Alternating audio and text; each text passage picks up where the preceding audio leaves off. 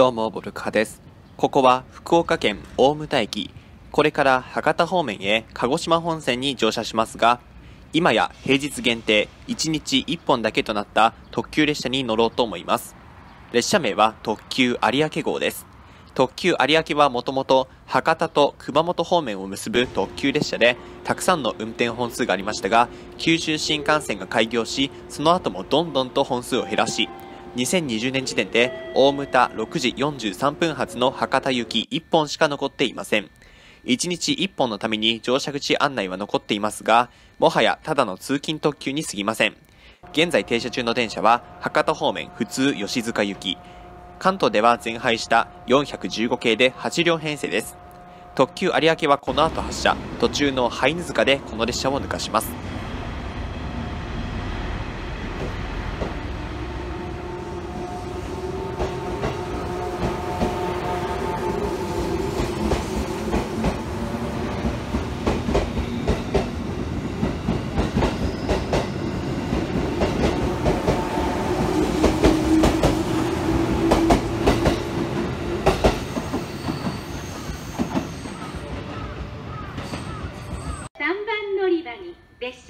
着しますこの列車は6時43分発特急有明博多行きとなります危険ですから展示ブロックの内側まで下がってお待ちください。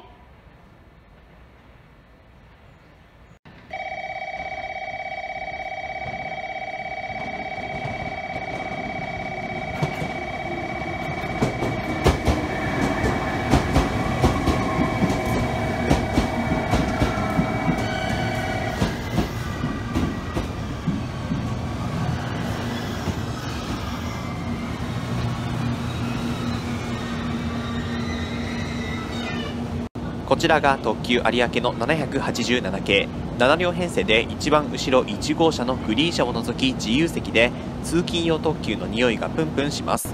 1日1本しかありませんので号数はありません。ただの特急有明号です。まずは自由席の様子を見てみます。車体も車内もグレーを基調としたデザイン。大牟田から乗る人はほとんど見受けられません。まだ車内は空席だらけです。787系は九州全域で見ることができる特急列車で JR 九州の基礎となっているような特急車両です。そしてこちらがグリーン車の様子。奥にある3席は DX グリーンというさらにグレードの高いものとなっています。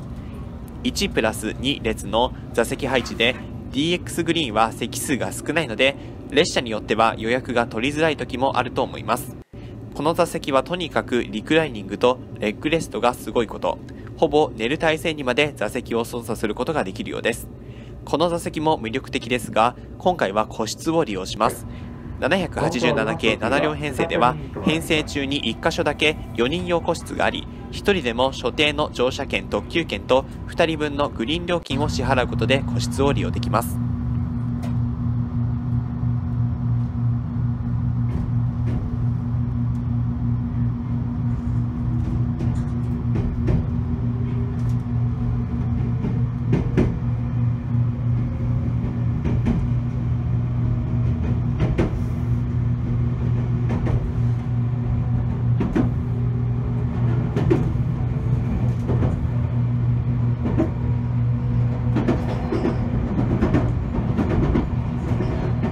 ループ利用には最適のこの個室。2人だとグリーン車と同額、3人以上だとグリーン車よりも安く使うことができます。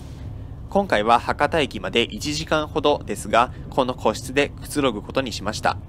通勤用特急でおそらくほとんどが自由席利用。座席のグリーン車利用でさえもほぼいないのに、まさか個室を利用する人がいるとは、車掌さんも思わなかったのか、検察前は不審そうな目で見ていましたが、もちろん正当な乗り方ですので、何も問題はありません。列車はこれから、瀬高、ハイヌ塚、久留米、鳥栖に停車。博多到着は7時37分で、大牟田から博多まで1時間です。広々とした個室を独り占めです。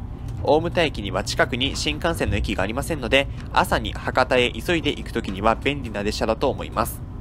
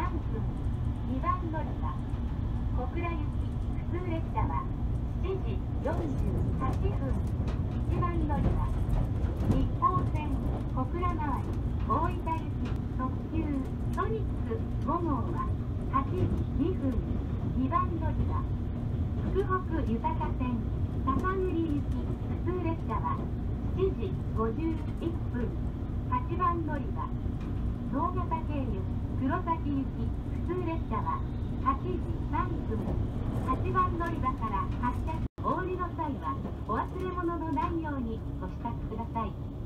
座席のミニポケットをご利用のお客様は切符の取り忘れにご注意ください。本日は特急有明をご利用くださいましてありがとうございます。またのご利用をお待ちしております